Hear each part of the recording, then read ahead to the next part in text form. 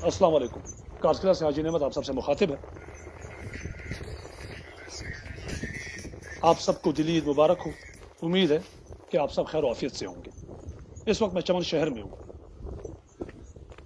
आज के दिन भी मेरा जीना आराम किया हुआ है बार बार कॉल्स आ रही हैं हाजी साहब हमारे पैसों का क्या हुआ हमारे एडवांस का क्या हुआ क्या उनसे वसूल हो जाएँगे नहीं हो जाएँगे वो मेरे भाई मैंने कोई ठेका ले रखा है इन लोगों का मैं कुछ जामिन हूँ उन लोगों का पैसे लेते वक्त मुझसे पूछा आप लोगों ने कि हम इनको पैसे दें या ना दें? आज के दिन मुझे अपनी फैमिली के साथ होना चाहिए, अपने दोस्त अहबाबों के साथ होना चाहिए। मैं निकला हूँ इस गर्मी में आप लोगों के लिए वीडियो बना रहा हूँ। यह तस्दीक करवाने के लिए कि आपके साथ दोबारा कोई फ्रॉड ना हो, दोबारा कोई हाथ ना हो आप लोगों के साथ। इस वीडियो को बनाने का मकसद ये है कि आप इन शुरमों को ज़रा गौर से देखें। तवज्जो दें इन शुरमों के ऊपर। पाकिस्तान के मुख्तलिफ़ अजला से मुख्तलिफ़ शहरों से, मुख्तलिफ़ लोग आते हैं यहाँ, किसी भी कारोबारी मकसद से यहाँ आते हैं। इन शोरमोज पर आकर इनकी तस्वीरें बनाते हैं, इनकी वीडियोज़ बनाते हैं।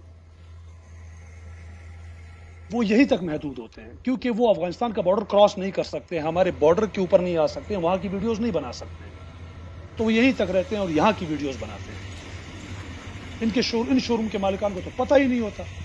उनको कुछ पता ही नहीं होता कि हमारी जो शोरूम की वीडियोस बनाई जा रही है। अब इस वीडियो को आप देखें, इस शेड पर आप गौर करें और इनका मवाजना करें उन वीडियोस के साथ जिन्होंने, जो लोगों ने पहले अपने यूट्यूब चैनल्स पर लगाई हुई है, अपना ट्रेडमार्क वाटर मार्क लगाकर।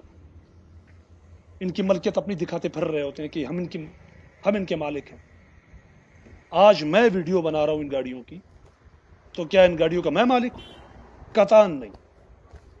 मैं इन गाड़ियों का बिल्कुल भी मालिक नहीं हूँ। और ना ही वो फ्रॉडी मालिक हैं जो उनकी वीडियो बनाते हैं।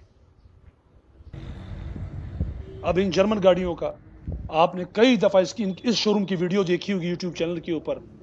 ठक ठक करते हुए कि जैनवन वीडियो है, कोई डबिंग नहीं है। और मेरे भाई, वीडियो जैनवन हो या डबिंग हो, मलकियत तो आपकी नहीं है ना मेरे भाई। इसके बाद भी अगर आपके साथ फ्रॉड होता है ना तो कसूर उन लोगों का नहीं होता। जो से फ्रॉड कर रहे होते हैं। कसूर आप लोगों का है, जो लालच में आकर आप पैसे देते हैं एडवांस लोगों को।